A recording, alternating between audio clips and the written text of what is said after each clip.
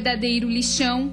Restos domésticos e de materiais eletrônicos tomam conta do local. Aqui tá pouca vergonha, porque a gente passa aqui, a rua nossa está passando aqui. Pelo menos 23 pontos na cidade de Lages já foram flagrados com descarte incorreto do lixo. Quadro de ação onde a empresa terceirizada faz a coleta em todas as residências, todos os bairros, três vezes por semana.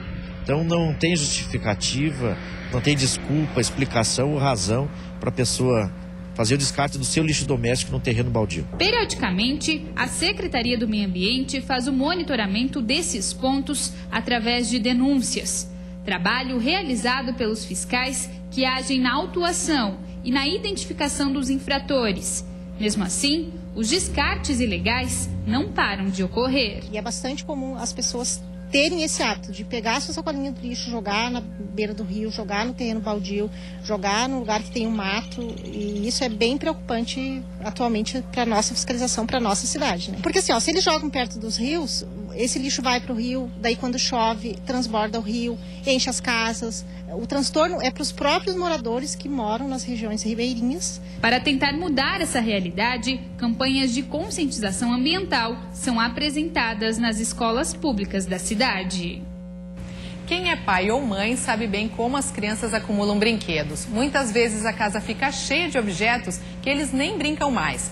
Pensando nisso, uma empresa da capital oferece locação de brinquedos educativos. Os kits vêm com produtos adequados à idade da criança e a família pode ficar até um mês com os brinquedos. Um kit com várias atividades infantis que percorrem diversas casas. Assim nasceu o projeto Coruja Maruja o aluguel de brinquedos atende crianças de 0 a 6 anos e depois de um mês a família pode devolver o antigo e pegar um outro kit. Não incentiva na criança esse sentimento de posse de é, tudo que eu quero, com tudo que eu quero brincar tem que ser meu.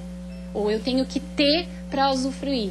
As vendas são feitas pelo site do projeto e a Annelise faz as entregas pessoalmente. Em apenas seis meses, a ideia vem ganhando espaço.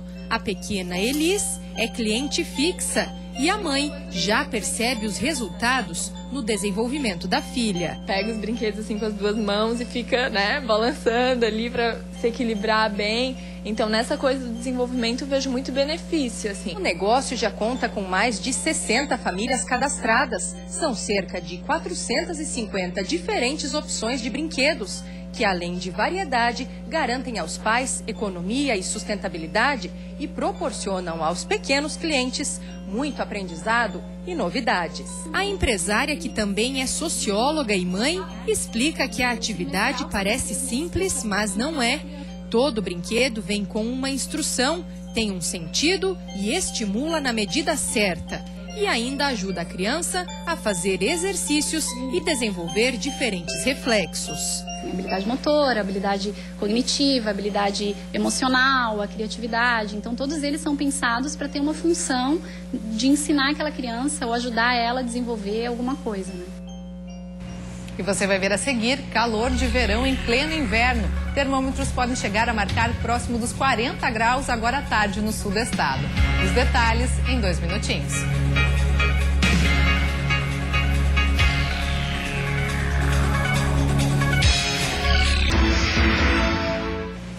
Temperaturas típicas de verão em pleno inverno. O dia está sendo de calor em todas as regiões do estado. Confira os detalhes no mapa da previsão do tempo.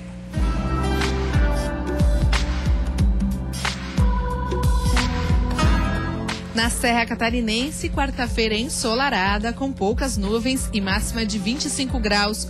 O sol também aparece na região norte e no oeste, que registram máximas entre 31 e 32 graus. No sul do estado, dia de pouca nebulosidade e bastante calor, com temperatura podendo chegar aos 38 graus. No Vale do Itajaí e na Grande Florianópolis, a máxima é de 29 e o dia também é de tempo bom. É, e como vimos na previsão, o sul do estado é a região onde está fazendo mais calor hoje. Por lá, os termômetros podem chegar agora à tarde perto dos 40 graus. Braços e pernas de fora e praias movimentadas pelo estado. Oficialmente pode até ser inverno, mas com as temperaturas dos últimos dias, aquecedores e casacos foram deixados de lado pelos catarinenses. Sorvetinho e um ventilador, né? ventilador, porque não dá, não dá. Essa noite é obrigado a botar ele trabalhar. Obrigado, porque só um banho mesmo quase gelado e um ventilador, né? porque senão não dá para ganhar. Alguns comerciantes comemoram o calor fora de época registrado no estado. O gerente desta sorveteria afirma que as vendas dobraram nos últimos dias. Verdade, não esperava, né? Veio numa boa hora. Para vocês foi um bom negócio esse calor. Com certeza. Pouco mais de 11 da manhã e 36 graus no termômetro.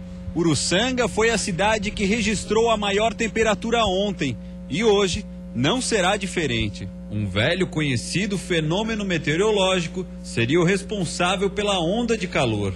Isso se deve ao El Ninho, que cria bloqueios atmosféricos e que não permite que a frente fria avance sobre o sul do Brasil. De acordo ainda com o meteorologista da IPAGRE, a tendência é de queda nas temperaturas nas próximas horas. Mas é bom se preparar que o calor fora de época não deve parar por aqui. Uma semana com três, três temperaturas, né? Uh, a terça, quarta, calor, quinta, sexta, frio e, e final de semana quente. Com umidade relativa do ar em 20%, índice considerado baixo, é preciso ter atenção também com a saúde. O ideal é fazer como a ambulante Adriana, que não abre mão da hidratação. É bastante líquido, porque para trabalhar debaixo do sol tem que ter muito líquido. Muito líquido, porque é queda de pressão a toda hora. Tem que se cuidar. Bastante. E assim a gente encerra o Notícias da Redação de hoje. Você fica agora com o programa Olhares. Uma boa tarde para você e até amanhã.